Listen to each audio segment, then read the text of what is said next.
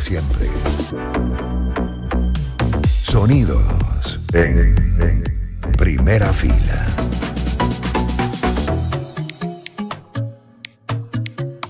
El cómplice del día.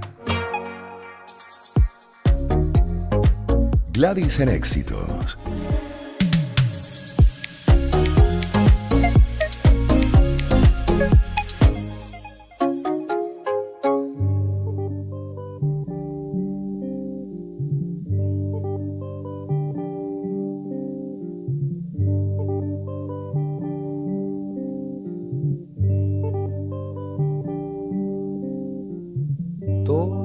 Y todo queda, pero lo nuestro es pasar. Hermosa canción que pidió nuestra coanimadora de hoy para presentarla. Repite Joan Manuel Serrat eh, en un programa del viernes de, con coanimador. En esta oportunidad, Clara Astorga, psicólogo, presidente de la Federación de Psicólogos de Venezuela, cuando le preguntamos por una canción favorita, pues por supuesto es difícil escoger, ¿no? Porque uno puede tener muchas y además van hasta cambiando en el tiempo, en la medida que uno va avanzando, obviamente va sumando años. Pero bueno, en esta oportunidad, por ejemplo, Clara pidió para, para que le, le la bienvenida Cantares de Joan Manuel Serrat. ¿Por qué? Le preguntamos, pero primero, bienvenida, el psicólogo, presidente de la Federación de Psicólogos de Venezuela y hoy encargada de este espacio. Clara. Oye, qué honor, gracias Gladys. La verdad que me emociona mucho estar aquí y compartir contigo este par de horas. Bueno, la eh, emoción es compartida entonces, porque aquí estamos todos felices, nos encanta este formato de los días viernes, tenerlos y que podamos, por supuesto, variar, conocer, eh, explorar otras áreas a través de la coanimación justamente en función de los gustos y pasiones de ustedes. Y, quiero comenzar hablando de, de este formato, porque es solamente conectarnos con esto, que son nuestros gustos y nuestra propia historia, ya, ya impregna la venida de una emoción muy particular. Y escuchando la, música y escuchándote a ti, te digo que, que pues cuando comencé a escuchar esa canción y, era muy joven, una niña casi, pues a mí me conmovía y me emocionaba.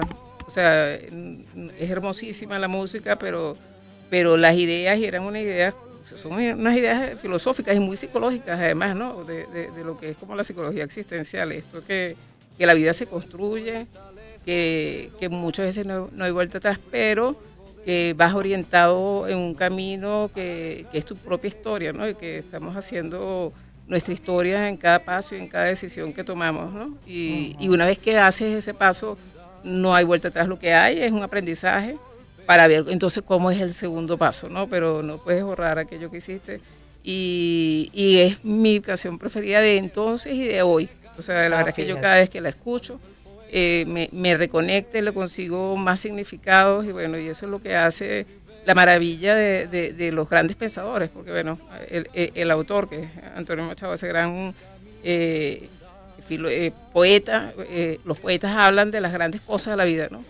Después se desarrollan en teorías y, y después lo convertimos en otras cosas, pero las grandes ideas de los grandes autores son permanentes porque hablan de la vida misma de la existencia, exactamente, y sus complejidades, dependiendo de cómo te pares ante ellas, ¿no? También de, las situaciones que se nos van presentando. Y bueno, sobre eso imaginaremos en el programa de hoy, aprovechándote, por supuesto, como presidente de la Federación de Psicólogos de Venezuela, psicólogo Clara Astorga, encargada de este programa a partir de este momento y hasta las 3 de la tarde, es nuestra invitada especial, nuestra invitada especial, cómplice del día, coanimadora.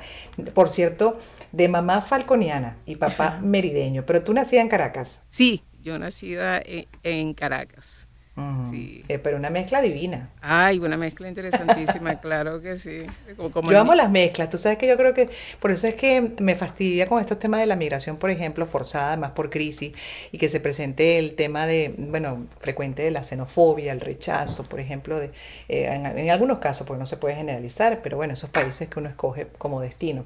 Y, digo que cuánto falta que los eh, administradores de esos países, los gobiernos, expliquen cómo corresponde y como bien también lo indican especialistas en el área, más bien lo que suma el mestizaje, le suma a la vida de cada quien y también a esas sociedades. Entonces, por eso te digo, a mí me parece fascinante el mestizaje, yo siempre digo que de ahí resulta algo fabuloso, una mezcla divina. Bueno, y es que nosotros, en la historia del desarrollo, el devenir de la humanidad, la, migración es parte de, de, de, nuestros rasgos como, como especie. O sea, nosotros hemos caminado el mundo siempre y, y, y, somos siempre una mezcla maravillosa, es una magia maravillosa esos genes eh, uniéndose. Y aunque mi mamá y mi papá, como dices tú, son de aquí mismo, o sea, son de regiones distintas y con perfiles mm, psicológicos distintos y bueno, siempre es una maravilla esa, e, e, esas combinaciones.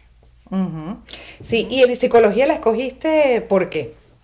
Bueno, fíjate, eh, esa, pues, desde muy chiquita, no sé, me, gustó eh, el servir a otros. Realmente eh, estudié siempre en un colegio de monjas, en dos colegios de monjas, y, yo creí que iba a ser monja. O sea, yo en verdad creí, y, incluso leí con mi mamá, tenía una monja que era muy amiga mía, y pensaba que es como era la vida de las monjas, yo quería ser monja.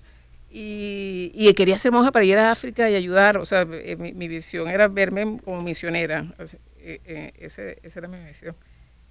Pero bueno, cuando comencé a estudiar el cuarto año y vi psicología, yo dije, esto es lo mío. La verdad es que me, apasionó todo lo que leí y aprendí unas, unos, bueno, unas cositas que no estaban basadas en la ciencia, no es lo que aplicamos, pero aprendí en alguna revista algo de interpretación de sueños y comencé a hacer juegos de interpretación de sueños, eh, aplicaba unas pruebas proyectivas también y entonces hacía interpretaciones y, tenía colas de de, compañeras mías en, los recreos para que yo les hiciera la interpretación de los sueños y les dijera cómo era su personalidad. Esos fueron mis primeros inicios de la psicología, la verdad.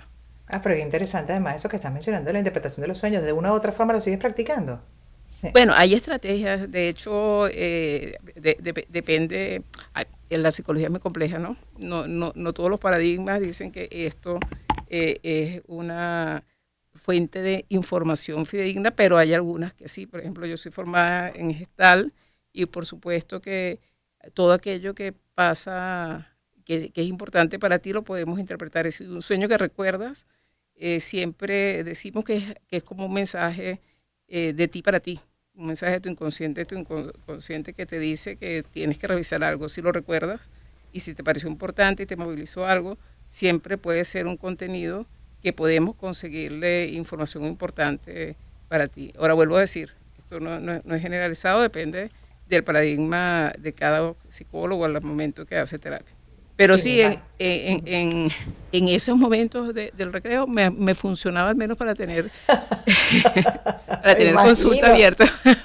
Me imagino la, cola larguísima. Si yo estuviese estado en el colegio contigo, te aseguro que Hubiese estado formándome en esa cola. Clara, qué, qué felicidad tenerte y además poder también eh, con tu profesión, pues conocer un poco cómo está esa salud mental del venezolano. Tú tienes muchos años ejerciendo, además estás al frente de la Federación de Psicólogos de Venezuela y básicamente hoy hacia dónde están apuntando ustedes.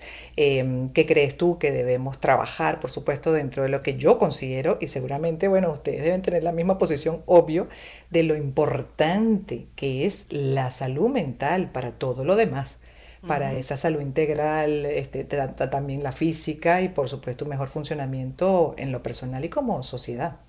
Eh, fíjate que la Organización Mundial de la Salud tiene como lema, no hay salud sin salud mental.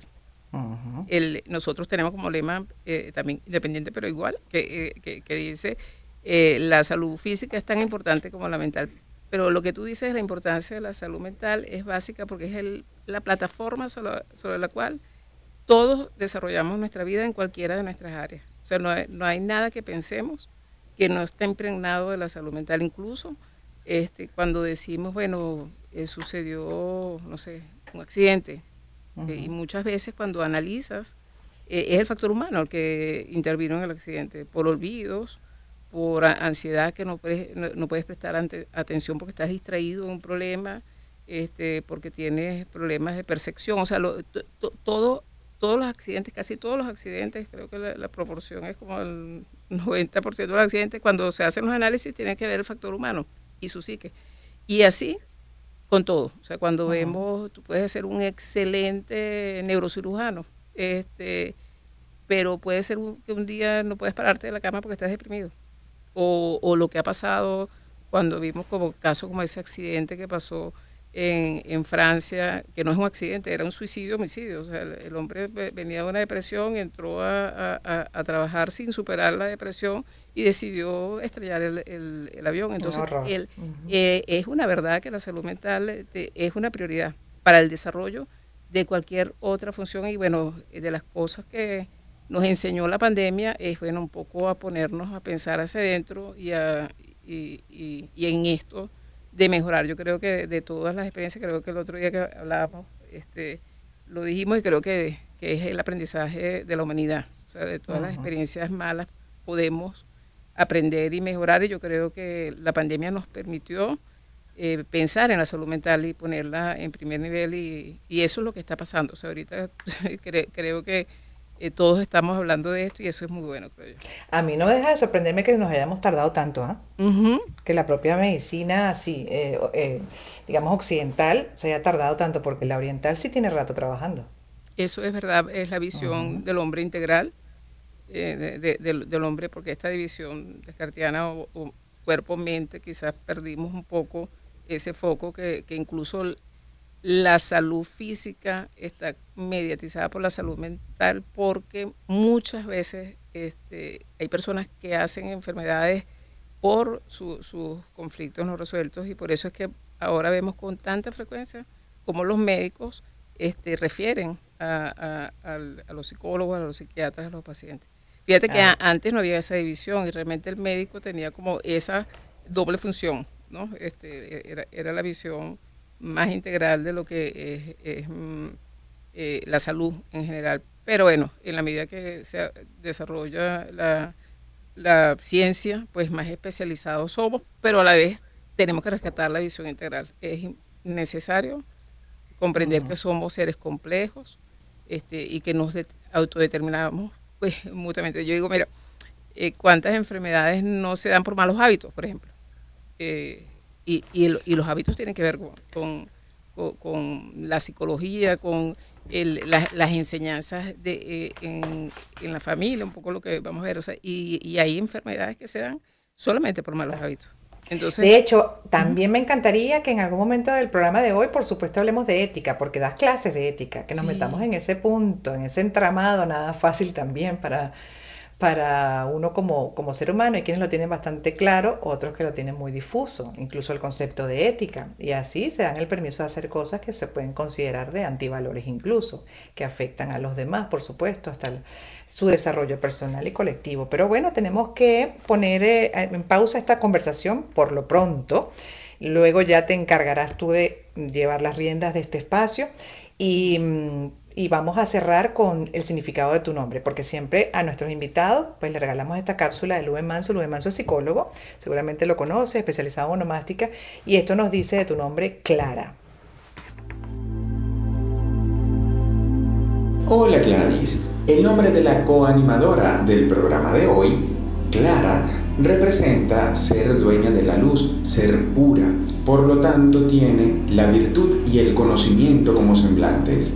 Su segundo nombre, Josefina, es hipocorístico femenino de José, que a su vez viene del hebreo Joshua y significa aquel a quien Dios agranda y se sobreentiende la familia. Por lo tanto, es un nombre de fertilidad, lo que implica tener la capacidad de producir siempre y cuando se haga el esfuerzo de sembrar.